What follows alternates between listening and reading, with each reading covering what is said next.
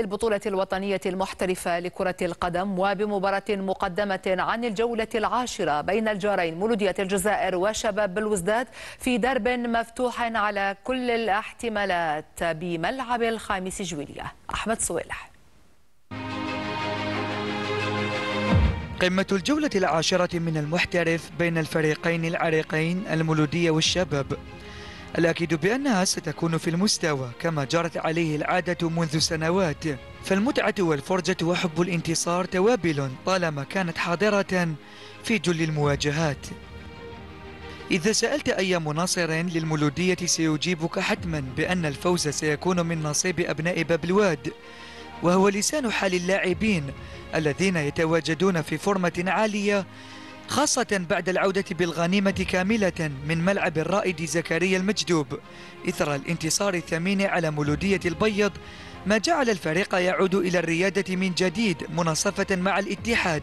الطاقم الفني بقيادة المدرب أمير بومال استبشر خيرا بجاهزية كامل التعداد إلا أنه سيفتقد لاعبه الإيفواري محمد زقرانا الذي ترسم غيابه عن الدربي بداعي العقوبة المسلطة عليه. وهو ما يشكل ضربة موجعة للفريق بالنظر إلى وزن اللاعب ومكانته. طرف المواجهة الثاني شباب الوزداد وبعد تحقيقه لفوزه الأول في بطولة هذا الموسم أمام ترجي مستغانم لا يريد العودة إلى النقطة الصفر ويبحث عن الخروج سريعا من دوامة النتائج السلبية التي لازمته في الجولات الثمان السابقة. والانطلاقة الحقيقية لأشبال المدرب عبد القادر عمراني يتمناها البلوزداديون أمام مولودية الجزائر من أجل تنظيم البيت وإعادة الأوراق المبعثرة إلى أدراجها وبالعودة إلى بعض الأرقام الأخيرة للدربي بين المولودية والشباب نجد بأن الفريقين تعادلا خلال المباريات الثمان الأخيرة أربع منها انتهت على وقع النتيجة البيضاء. فكيف سيكون عليه الحال هذه المرة؟ المباراة تلعب اليوم بداية من الساعة الثامنة آه، تتابعونها مباشرة على القناة السادسة الشبابية بتعليق عبد العزيز بن سالم. لأكثر آه، معطيات يلتحق بنا مباشرة من ملعب الخامس جبلية طارق بوفليح طارق مساء الخير.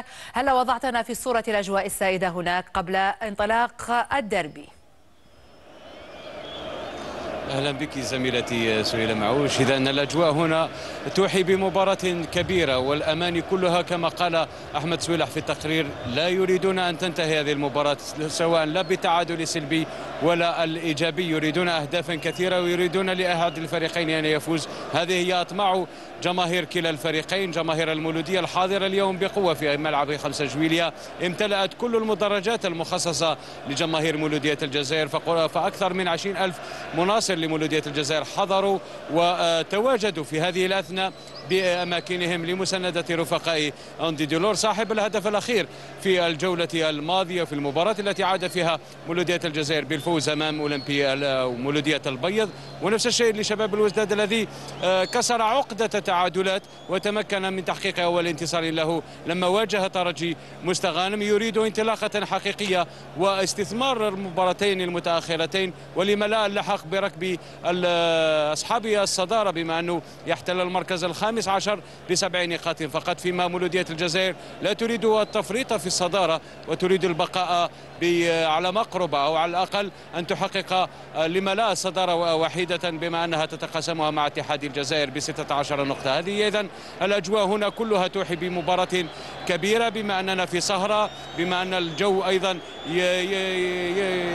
يجعل اللاعبين يقدمون أداء في المستوى. كما شاهدنا لاعبو مولودية الجزائر دخلوا قبل لحظات لاستكشاف أرضية الميدان. نفس الشيء كان قبل لحظات أيضا بالنسبة للاعبي شباب الوزداد. إذا آه، ننتظر سهرة كروية افتتاحية للجولة العاشرة في المستوى. ترفع نوعا ما دائما كما شاهدناها منذ بداية الموسم مستوى بطولة هذا الموسم الكروي. نعم طريق مباراة تعد بالكثير بين فريقين عريقين والأكيد أن الفرجة ستكون مضمونة هناك بالمدرجات. شكرا لك على كل ما تفضلت به. كنت معنا مباشرة من الملعب الخامس جويليا.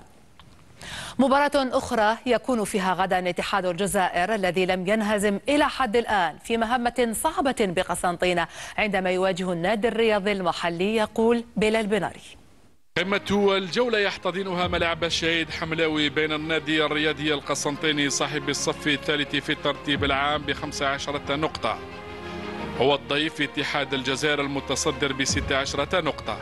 نقطة وحيدة تفصل الفريقين.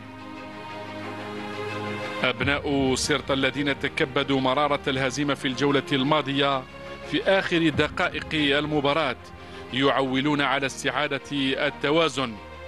ومن ثم استعادة الصدارة. المدرب خير الدين مضوي يملك الحلول هاته المرة بعودة العناصر الغائبة في الجولات الماضية. وفي مقدمتها المايسترو إبراهيم ديب الذي عاد إلى أجواء التدريبات التي جرت بمعنويات عالية. والكل على قدم وساق من أجل الإطاحة بالمتصدر اتحاد الجزائر. هذا الأخير ليس بالسهل المنال. وإلا كيف كان متصدرا ويريد مواصلة سلسلة النتائج الإيجابية ومواصلة الصدارة وهو المنتشي بآخر فوز أمام شبيبة الثورة. المدير والفني التونسي نبيل معلول يدرك حجم المسؤولية الملقاة عليه وعلى أشباله. لذلك يحاول توظيف التوليفة اللازمة من أجل الإطاحة بفريق مدعوم بالآلاف من أنصاره.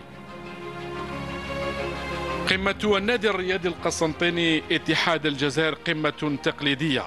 نقاطها غالية بالنسبة للضيوف للحفاظ على الصدارة وبالنسبة لأصحاب الأرض من أجل القفز إليها.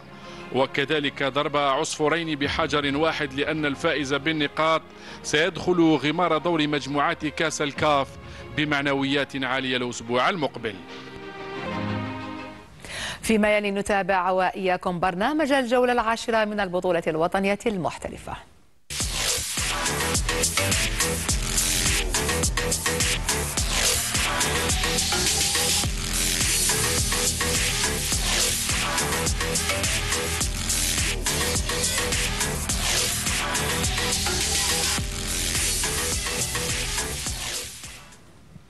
في أخبار الأندية المحلية التحق المدرب التونسي مراد العقبي بالعارضة الفنية لفريق شبيبة الثورة الموجود من دون مدرب رئيسي منذ بداية الموسم. ظاهرة إقالة واستقالة المدربين وإن تراجعت مقارنة بالمواسم السابقة إلا أن أسبابها وسياقاتها لا تزال قائمة. ليبقى المدير الفني بين مطرقة الإدارة وسندان المناصرين. علي جعفر. من منطق الكرة أن يرتبط بقاء المدرب أو رحيله بالنتائج المحققة إيجابا وسلبا بعد فترة محددة. ومن عرف البطولة الجزائرية أن يغادر بعض المدربين بعد جولة أو جولتين وحتى قبل البداية لأسباب قد لا ترتبط بالضرورة بنتائج المستطيل الأخضر. وحتى وإن كان نسق الإقالات والاستقالات هذا الموسم أقل مقارنة بسابقيه إلا أن الأسباب والسياقات ما تزال قائمة. الجولة التاسعة من مخلفاتها مغادرة المدرب منير زغدود العارضة الفنية لاتحاد بسكرة بعد غياب الفوز في الجولات الأربع السابقة رغم البداية الموفقة. المدافع الدولي السابق رفع رقم المدربين المغادرين لأنديتهم إلى ثمانية منذ بداية الموسم. قبله بأقل من أسبوع التحق لطفي عمروش بالعارضة الفنية لمولودية البيض في مكان سلفه فؤاد بوعلي الذي استقال بسبب تراجع النتائج في ظل وضعية معقدة يعيشها فرسان الهضاب ماليا وإداريا.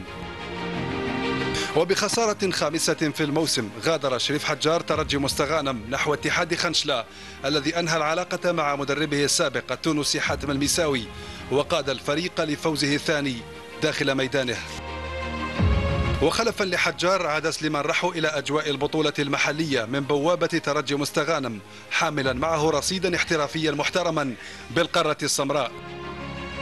الجهاز الفني لنادي شباب الوزداد تغير في المواسم الخمسة الماضية رغم الألقاب لكنه عاد هذا الموسم ليخضع إلى منطق النتائج الآنية وضغط المحيط. وعاد عبد القادر عمراني إلى بيت الشباب خلفا للفرنسي كورنتين مارتينز بعد الجولة الرابعة. ليقوده إلى الفوز الأول هذا الموسم. مدرب تونسي آخر دفعته النتائج إلى مغادرة منصبه بسرعة ويتعلق الأمر براضي الجايدي الذي اكتفى بفوز وحيد مع أتليتيك بارادو تاركا مكانه لدزيري بلال في الجولة الخامسة. نادي مولودية وهران وبعد بدايته المتعثرة بقيادة يوسف بوزيدي فضل اسما أجنبيا باستقدام التقني الفرنكو مالي سيكو إريك شال الذي حقق الوثبة البسيكولوجية وأعاد بعض الاستقرار للفريق. قبل الجميع وحتى قبل بداية البطولة رمى مدرب شبيبة الصورة شريف الوزاني المنشفة على خلفية الوضعية المالية والإدارية رغم إشرافه على الانتدابات والتحذيرات. الفريق ظل بلا مدرب إلى غاية الجولة العاشرة. بانضمام المدرب التونسي مراد العقبي بحثا عن تصحيح المسار. ثمانية مدربين بين مقال ومستقيل تحت صيغة باتت تسمى انفصالا بالتراضي. الأكيد أن القائمة ما تزال مفتوحة والسياقات تظل متراوحة بين إدارة ترى في المدرب الحلقة الأضعف وتقنيين يقبلون بأول عرض يقدم لهم. في سياق منفصل انتهت المباراة الافتتاحية للجزائر من دورة اتحاد شمال أفريقيا 2025 لأقل من 20 سنة. المؤهلة لكأس أفريقيا للأمم بين المنتخب الوطني ونظيره المصري البلد المنظم بالتعادل الإيجابي بهدف في كل شبكة. وكان المنتخب المصري السباق إلى مجال التهديف عن طريق محمد سعلوك في الدقيقة السابعة والخمسين ليعدل أحمد كوحلي الكفة للجزائر في الدقيقة السادسة والثمانين. وبهذا يحتل أو تحتل الجزائر الصف الرابع بنقطة واحدة مناصفة مع مصر وليبيا.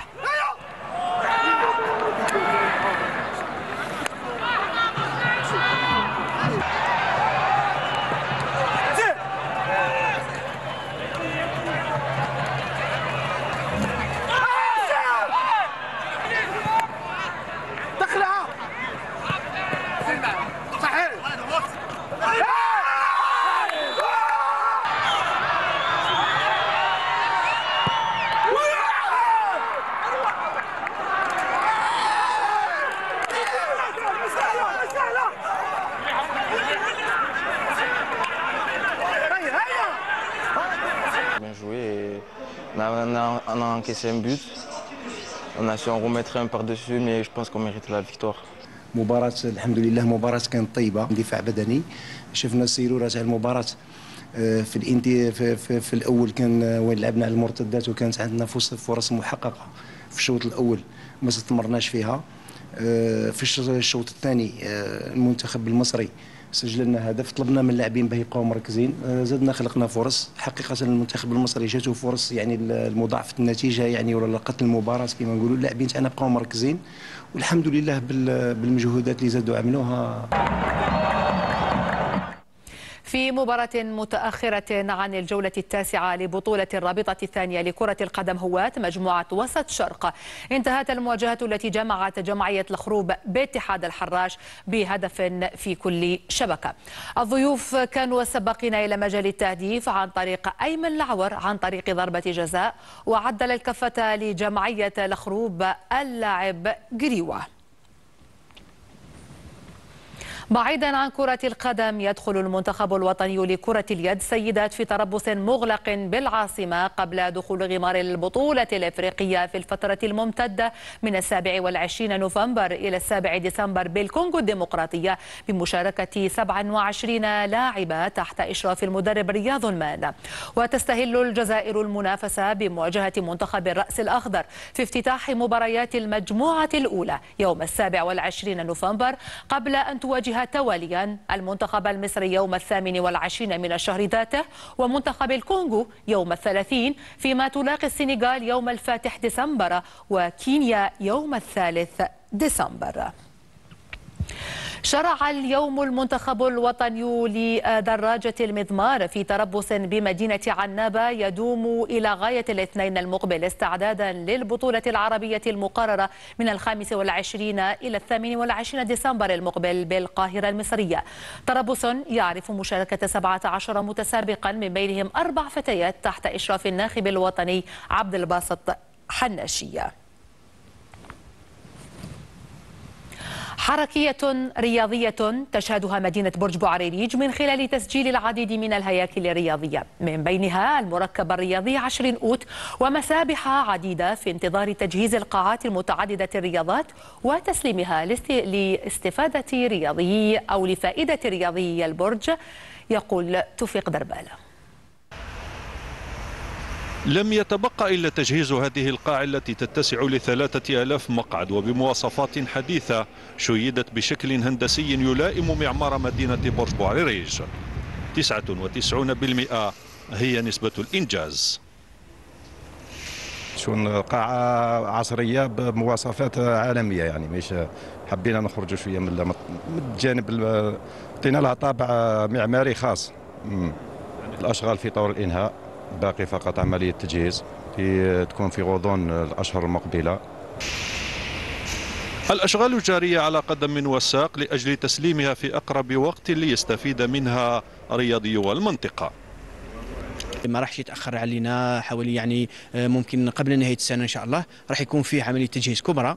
وين آه، راح تكون وفق المقاييس والمقاييس العالمية لاحتضان لاحقا منافسات دولية ومنافسات عالمية في هذا في مختلف الاختصاصات. لا سيما اختصاصات اللي تتميز بها ولايتنا ككرة اليد كرة السلة وكرة الطائرة. القاعة هي من ضمن الأشياء اللي تساعد الفريق خاصة أنه فريق يعني بطل وحايز على يعني لقب البطولة والكأس. راح تساعده في يعني في تطوير مستواه راح تساعده في حماية اللاعبين خاصة. آه، يعني كل العالم يعني عنده قاعات يعني مثل القاعة تاعنا تاع فريق آه، البرج. نتمنى إن شاء الله نتمنى تكون يعني مفتوحة لكل الفرق في أقرب الآجال إن شاء الله ونستفادوا منها وكل رياضيين إن شاء الله. مدينة برج بوعريريج استفادت من العديد من الهياكل الرياضية خاصة المركب الرياضي 20 أوت الذي سيكون قطبا رياضيا بامتياز. لدراسة لإعادة تهيئة أو تهيئة والاعتبار لملعب 20 أوت. آه، الحمد لله دراسة اكتملت. آه، ننتظر يعني خلال السنة المقبلة أو ننتظر تسجيل العملية وراح تكون في أشغال كبرى من أجل تهيئة الملعب وإعطائه يعني كل المواصفات للاحتضان حتى حتى يعني بطولات أو منافسات إفريقية. وفق يعني معايير المعايير المعتمدة. كذلك هناك ملعب ملعب ألعاب القوى. ملعب ألعاب القوى بومرقد هنا المتواجد بغابة بومرقد مدينة برج بعريريج انتهت الدراسة آه، من أجل إعادة الاعتبار والترميم وراح نكون فيه؟ راح يكون يعني آه، إن شاء الله في حال تسجيل العملية خلال السنة المقبلة 2025 بالإضافة إلى فضاء ترفيهي. مسابح وملاعب جوارية ومركبات رياضية ترفيهية من شأنها أن تدفع بالحركة الرياضية إلى الأحسن بمدينة برج بوعريريج إلى التصفيات الآسيوية المؤهلة لكأس العالم. تعادل مثير انتهت على إثره مواجهة المنتخبين البحريني والأسترالي بهدفين لمثلهما. سفيان مهني والتفاصيل. منتخب البحرين يفوت فرصة ودعت ملاعب التنس أسطورة عشقته الميادين وأحبته الجماهير. رافائيل نادال سيد الأرضيات الترابية وأيقونة كرة المضرب. ها هو اليوم يطوي صفحة من صفحات المجد بقراره الاعتزال بعد رحلة استثنائية مليئة بالانتصارات والألقاب. وقفة عند اللاعب مع وليد غريبية. تغلبت علي كثيرا. أكثر مما تمكنت من التغلب عليك. تحديتني بطرق لم يستطع أحد غيرك أن يفعلها. جعلتني أحب التنس أكثر وأستمتع أكثر باللعبة. شكرا لك. بهذه العبارات توجه ملك التنس المعتزل السويسري روجر فيدرر لمنافسه المباشر الأسطورة الإسبانية رافائيل نادال. عقب إعلان الأخير اعتزاله اللعبة وتعليق المضرب في الثامنة والثلاثين من العمر واضعا حدا لعشرين عاما من مسيرة أقل ما يقال عنها أنها خرافية. عندما يتوجه لك منافسك المباشر بعبارات الشكر وعندما يختارك للعب إلى جانبه في مباراة اعتزاله فلا يمكن إلا أن تكون أسطورة جديرة بالإحترام. نادال ملك الملاعب الترابية. سجل اسمه بأحرف من ذهب كأحد أكبر اللاعبين في تاريخ التنس بحصده 92 لقبا. 22 منها في بطولات الجراند سلام 14 لقبا في رولان غاروس وحدها. كرقم قياسي للأكثر تتويجا في بطولة واحدة من البطولات الأربع الكبرى. ضف إليها ذهبيتين أولمبيتين فردي وزوجي. طيلة عقدين من الزمن حفر نادال شخصيته على أرض الملعب من عصبة رأسه إلى قوة ضرباته إلى حماسه الكبير. صورة رسخها عن نفسه منذ مشاركته وفوزه بأول كأس ديفيس في الثامنة عشر من العمر ثم بطولة رولان غاروس التي توج بها يوم احتفاله بعيد ميلاده التاسع عشر. من ملعب فيليب شاترييه كانت البداية ومنه كانت النهاية بعد سبعة عشر عاما. عندما رفع اللقب الرابع عشر له في البطولة والثاني والعشرين في الجراند سلام. وما بين البداية والنهاية تاريخ حافل. الماتادور يودع الملاعب طاويا آخر صفحة من مشواره الغني بالذكريات والأمجاد مخلدا اسمه أسطورة حية في تاريخ التنس.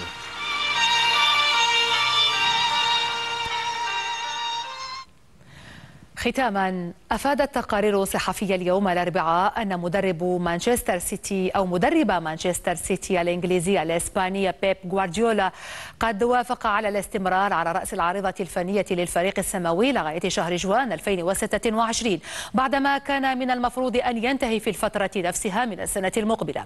وبهذا القرار يكون التقني الإسباني قد أنهى الجدل المتواصل بشأن رحيله صيف عام 2025 لما وافق على تجديد عقده لموسم واحد على أن يكون الإعلان عن التوقيع على العقد الجديد في الأيام المقبلة. وكان غوارديولا قد استلم مهمة تدريب مانشستر سيتي في صيف 2016 حيث قاد الفريق إلى تحقيق 18 بطولة رسمية من بينها ستة ألقاب في البريمير ليج. وأول لقب للفريق في تاريخ النادي في منافسة رابطة أبطال أوروبا. بهذا مشاهدينا الكرام وصل وإياكم إلى ختام الموعد الرياضي. شكرا على المتابعة. السلام عليكم.